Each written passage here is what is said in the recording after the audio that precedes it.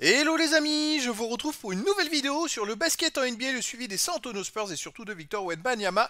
Et euh, cette nuit, les San Antonio Spurs ont gagné au New Orleans Pelicans 111 à 109 un match plutôt serré. Euh, les Pelicans sont menés euh, la plupart du temps avec euh, quelques points d'avance et puis bah, les Spurs sont revenus petit à petit et pour les dépasser dans la dernière ligne droite et une victoire de, de Briscard on va dire avec une nouvelle fois un Victor qui était trop poche d'un triple double. Il a lui a manqué seulement une passe décisive. Alors il a un nouveau rôle depuis quelques quelques semaines, c'est-à-dire que il joue plus on va dire ailier ailier, on va dire, plutôt que pivot, et il participe beaucoup plus au jeu, et d'ailleurs, euh, c'est pour ça que bah, il fait beaucoup de passes décisives, il tourne à 6-7 passes décisives depuis une, dizaine de matchs, c'est assez extraordinaire, et franchement, c'est très plaisant à voir, euh, et donc on va revenir dans cette vidéo justement sur les stats euh, de ce match-là, avec les stats des joueurs et des équipes, on verra ensuite le classement des Spurs dans la conférence Ouest, puis les stats de Wemby dans ce match en détail avec ses meilleures perfs sur un match, et on, enchaînera par sa moyenne, ses moyennes de points, euh, moyenne de stats en saison régulière, puis les stats actualisées de Wemby dans l'histoire de la NBA à 20 ans, on va voir s'il a gagné des petites places, euh, s'il gagne dans les classements. Euh, dans l'histoire aussi des San Antonio Spurs à 20 ans, 21 ans en général, dans l'histoire des Français en NBA à 20 ans, 21 ans et au général, et on fera un petit focus pour terminer sur le prochain match des San Antonio Spurs. Mais voilà, comme vous pouvez le voir, Victor a marqué un peu moins que d'habitude, 17 hein, points, mais 12 rebonds, 9 passes, 3 comptes, une interception. Bon, un énorme match. Il a grandement participé à la victoire des Spurs. A noter que chez les Spurs, euh, Vassell et Sochan étaient toujours absents. Donc c'est ça qui est incroyable, malgré l'absence de deux titulaires, avec un banc euh, amoindri, eh ben, c'est une équipe qui, se débrouille vraiment bien en ce moment. Allez, on arrive les amis euh, donc au match en détail. Alors premier carton, New Orleans menait 27 à 18 plus 9. Deuxième carton gagné par New Orleans 34-33 donc plus 10 à la mi-temps. troisième carton, les Spurs ont renversé le match, alors pour une fois, 35-25 il y avait égalité et dernier carton ils gagnent 25-23 de 2 points. Alors, euh, côté des Spurs, on peut noter euh, la titularisation de Mamukelashvili. C'est un joueur que j'adore, franchement. Euh, c'est un guerrier, le gars, c'est un guerrier. Et c'est ce qui permet, quand il est sur le terrain, quand il est sur le terrain avec Victor, ça permet à Victor d'être décalé en tant qu'ailier. Et franchement, il apporte, je dirais, de l'énergie à revendre. Et il est super fort. Enfin, pour le peu qu'on lui demande de faire, c'est énorme. Il fait 7 sur 11 de tir, 5 rebonds. Bah voilà, un super match franchement. Et c'est ce que j'ai remarqué. Alors c'est la première fois que je l'ai vu titulaire, je sais plus le dernier match il était titulaire, mais euh, bah, il bonifie, alors lui il se bonifie au contact de Victor, mais il bonifie Victor euh, qui euh, peut économiser un peu d'énergie dans certaines situations de jeu. Alors pour les stats, on peut voir que côté Pelican on avait McCollum qui fait 31 points à 13 sur 29 au dire, 15 sur 12 à 3 points. 26 points pour Valence Unas, qui est énorme. Par contre, 10 sur 12 au tir. Il, tire 12 fois, il met 26 points quand même, c'est extraordinaire. 7 rebonds, 7 passes, 16 points pour Trey Murphy, 3 avec 8 rebonds, 4 passes. Euh, voilà, il n'y a pas des, gros stats, euh, des gros stats, mais pas des, choses, euh, je dirais vraiment hors norme. Il n'y a pas de joueurs qui ont fait plus de 8 rebonds. Pas de joueurs qui ont fait plus de 7 passes décisives. le meilleur passeur, c'est Valence Unas qui est pivot. Vous voyez, donc c'est quand même assez étonnant. A noter qu'ils ont tourné à 51% au tir, dont 31% à 3 points. Et 100% au lancer franc, c'est pas courant ça. Côté des Spurs, euh, eux ils ont fait aussi 51% au tir, un peu plus à 3 points, 37%, 77% au lancer franc.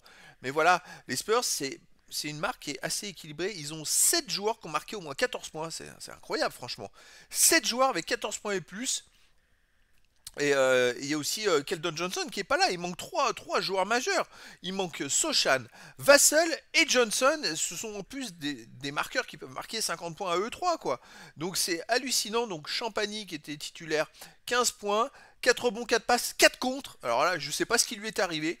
Euh, d'habitude, il n'a pas trop de stats dans le match. C'est surtout là pour marquer des paniers à 3 points. Bon, il a fait 2 sur 7 à 3 points, mais là, il fait 4 contre.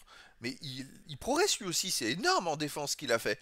Après, on a Malek Branham euh, qui fait 14 points à 4 sur 7 à 3 points. Alors lui, il est régulier depuis pas mal de matchs comme ça, c'est vraiment pas mal. Hein. on a Tree Jones, 14 points, 4 passes de rebond.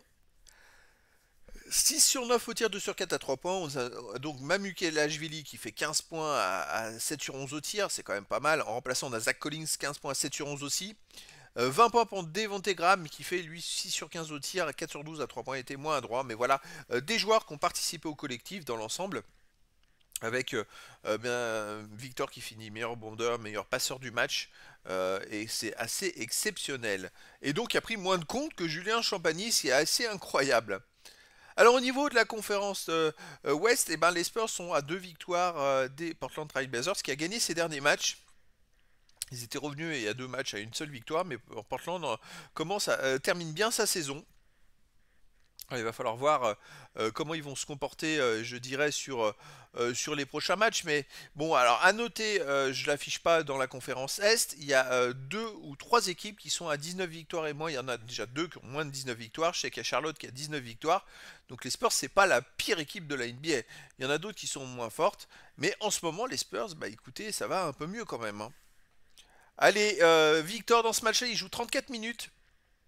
5 sur 12 de tir, 3 sur 6 à 3 points, c'est quand même pas mal. Il a tiré que 12 fois, très adroit à 3 points, 4 sur 4 au lancer franc. Moi j'aime le voir jouer comme ça, être adroit comme ça. Et je pense que s'il a été plus adroit que dans le dernier match, c'est surtout aussi parce qu'il y avait quand même euh, euh, bah, Mamu, euh, Oh là, j'arrive pas à prononcer son nom. Mamukelashvili qui était euh, présent et qui bonifie Victor. Je trouve que euh, c'est vraiment très intéressant. Alors dans le jeu, il met 17 points, 2 rebonds offensifs, 10 défensifs, 12 rebonds, 9 passes décisives.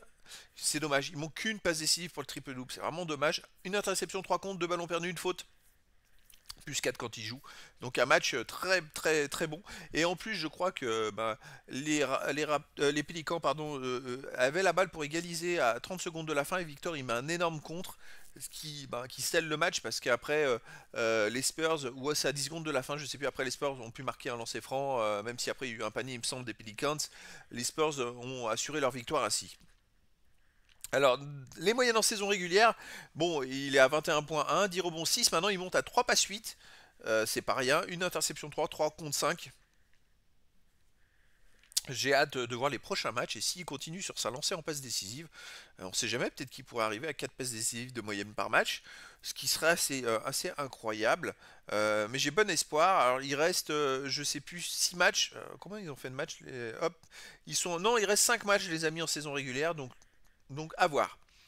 Allez, les stats de Wemby dans l'histoire de la NBA, arrêté à 20 ans. Alors, il gagne des places un peu de partout. Hein. Il a gagné deux places euh, au marqueur. Il est maintenant 54e. Euh, les matchs, il est 222e. Comme je le répète à chaque fois, il, sait que sa première saison. il n'a pas beaucoup de matchs comparé à des joueurs qui avaient déjà deux ou voire trois ans de NBA malgré ce, gros, euh, cette, ce faible nombre de matchs, en fait, il est euh, dans les stats dans beaucoup de choses. Il est dans les 100 premiers dans beaucoup de stats. 61e euh, au tir marqué, au tir tenté, 43e au tir à 3 points marqué, 39e au tir à 3 points tenté. c'est quand même assez énorme. 61e au lancer franc marqué, 70e au lancer franc tenté. Bon, c'est des stats qui continuent de progresser. 36e au rebond défensif, 44e au total rebond. Euh, même en passe décisive, il est 71ème, c'est assez incroyable. Donc il a 257 pages, c'est ce que je regardais. Donc ça veut dire 257 passes décisives, reste 5 matchs. Euh, s'il veut arriver à... Euh, ça ferait 73 matchs, 73 x 4, ça ferait 292 passes décisives. Donc il lui manque 35 passes, 35 passes décisives en 5 matchs pour tourner à 4 passes décisives de moyenne. Il faudrait qu'il fasse du 7 passes décisives de moyenne par match pour être à 4 de moyenne à la fin de la saison. Bon, c'est peut-être possible. Hein. Les contres, il est dixième de l'histoire.